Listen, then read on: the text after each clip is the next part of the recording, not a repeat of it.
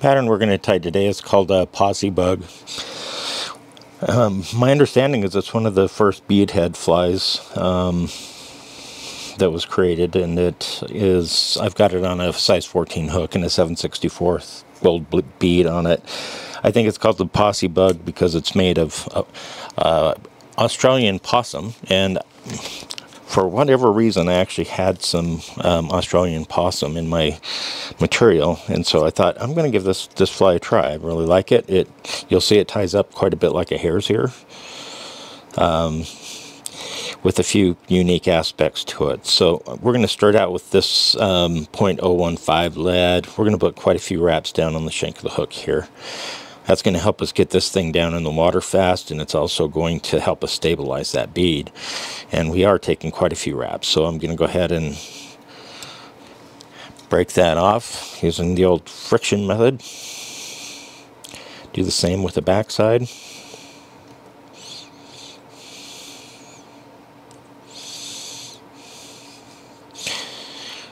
From there, we're just going to push all of that lead right into the back of that bead and that's just again going to stabilize that bead for us. I'm just going to use a, a 14 aught um, black thread here and we'll start that right behind those lead wraps and get it secure on our hook and then I'll just slip in here really quickly and cut off this tag end and we're attached and we're, we're kind of ready to go. From here, I'm going to go ahead and take a few wraps up towards the bead, kind of lazy wraps, but this is really to secure the lead in place. Um, I'm not worried about covering up those thread wraps or the wraps of lead here. Um, this will be a dubbed body, um, so I'm, yeah, will completely cover those up. I don't need to worry about covering them up with the thread. So I'm good with that get that in place and then we're going to go ahead now and turn to our Australian possum fur. So I've cut off a, a nice little clump here and we're going to make a, a really short uh, tail much like we would with a hare's ear. I'm going to hold that on the top of the shank of my hook and we'll just secure it down with a couple of thread wraps just so it stays in place for us. Then I'll go ahead and take some wraps backwards just keeping that material on the top of the shank of the hook here as I secure it. Then I'll take a look and see how we're doing for length, and I'm, I'm good there with the length. So I'm going to take this nice ball of um, messy fur here. I'll just go ahead and clean that up, clip it off.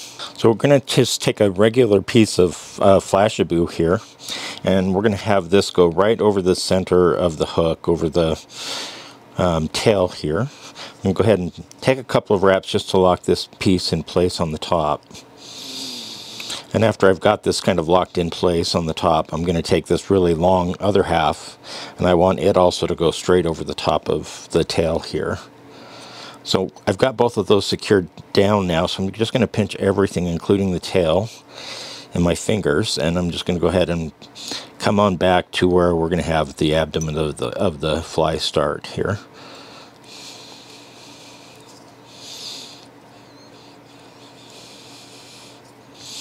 And once I've got that, I'm going to come on in with my scissors and I want to cut this Flashabou uh, just a little bit shorter than the tail itself. So I'm going to try to grab these two pieces together. We'll cut those off. And we'll want to keep hold of the tag end um, of what we just cut off here because that's the next thing we're going to tie in. We're actually going to use that exact same piece of um, Flashabou here as ribbing when we rib the abdomen body of this fly. So I'm just going to get a turn or two on it, draw it backwards a little bit, and I'm going to just take this back again to where we're going to start dubbing or uh, possum dubbing. So much like a hare's ear, I'm just taking this piece of possum and I'm just like picking from different places some little clumps of it out. Um, it's going to kind of end up looking like that. Then I'm just going to kind of mix it um, in my fingers. Uh, the other possum flies I've seen like this, the the piece of possum is much darker in color than this one. This one is really, um, really, really light. Um, so it's going to give us a really a light colored bug. I'm just going to finger dub this on and again I want it to be buggy so I'm not going to worry about getting this incredibly tight um, we're actually going to probably brush some of this dubbing out um, as we move forward so we've got some of our possum dubbing going here get, make sure we get a good start right around the back end of our hook there then I'm just going to start working my way forward um, and we will be building just a tiny little bit of a taper here.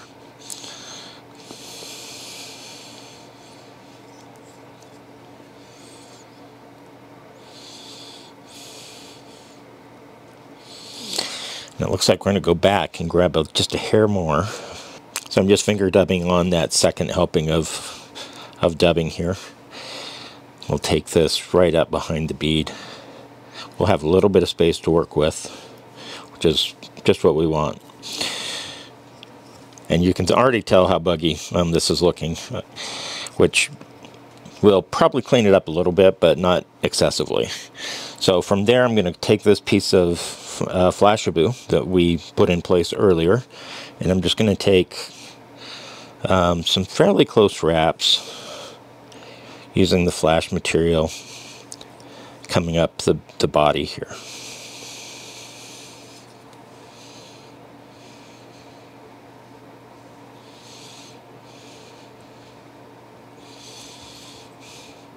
That's really going to make this pop, um, give just kind of that little reflection um, when you're fishing this. So take that right up behind the bead, and then we'll go ahead and tie that off. With a couple of thread wraps over the top of it. And I'll take a wrap or two behind the bead, which will do absolutely nothing in terms of securing the material, but we're going to take our Flashabou now, and we're going to go ahead and we're going to cut that off still have our thread attached.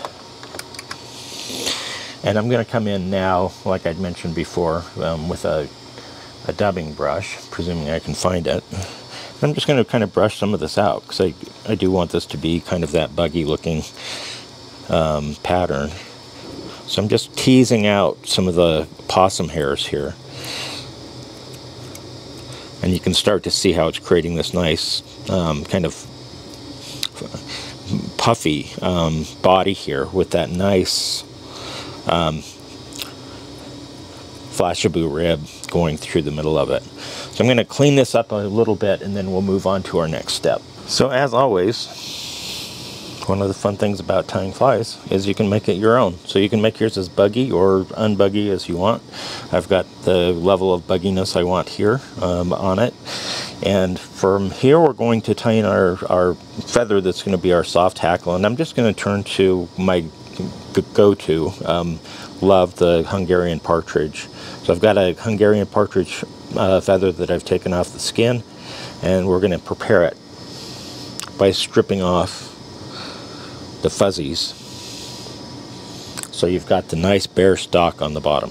So once I've got that feather prepared, what I like to do is put them into like some hackle pliers like I have here. Then I'm going to wet my fingers and I'm going to stroke some of these fibers backwards.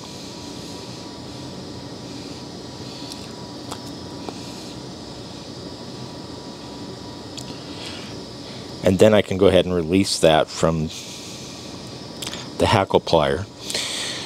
And that gives me a nice little uh, triangle-ish tie-in point here. We're going to go ahead and let our thread go counterclockwise so it'll kind of wrap backwards and not over the top of that bead. I'm just going to take a few wraps to secure that uh, piece of Hungarian partridge hack in, in place. A couple wraps in front and behind. I'm just going to go ahead and turn my vise and we're going to tr trim out the excess from the tip of that partridge feather. Now with that done, I'm just going to go ahead and grab another set of hackle pliers and I'm going to grab hold of the stem. Um, you want to be somewhat gentle. You'll easily pull this right out of place, but if you pull too hard. And I just want to stroke some of these feathers, uh, fibers backwards and we're going to start building our soft hackle. And it's really only going to be a turn, um, maybe two turns at most. I can already see some are going forward, but that is something that we will be able to fix just fine. Um, so there we go. Got a couple of turns on that. I want to lock that into place, so I'm going to take my thread over the stem that I still have in my hackle pliers here, just to lock that stem into place. Just like so, and then I can just go ahead and release that from my hackle plier. And from there, because I don't want this thing to be a, a complete porcupine with something that big sticking out of the end, I'm going to come in and trim that pretty tight.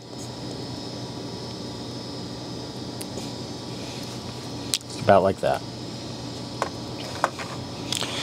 And so from there, that's where we can really, you know, if, especially if you've got quite a few of those fibers that are out of control and are going forward, this is where you can make sure you get them all kind of heading backwards is right here. Just kind of pull those fibers backwards while you take some turns over the top of them.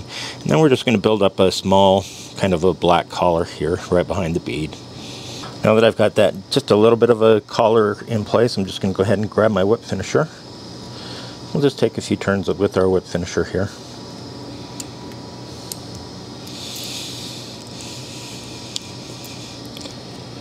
Maybe do that one more time.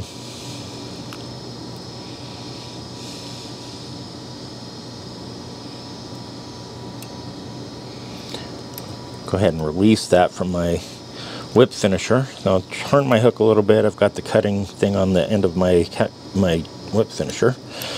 This disattach, I guess. I just created a new word, detach our thread.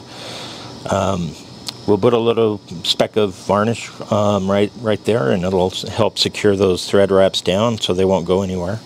Um, but that's it. Um, a wonderful pattern and hopefully if you tie a lot you, you can see the, the hare's ear here. Um, it really does look a lot like a hare's ear um, with a soft hackle. Um, but we're tying it with possum, the Possie Bug. Give it a shot.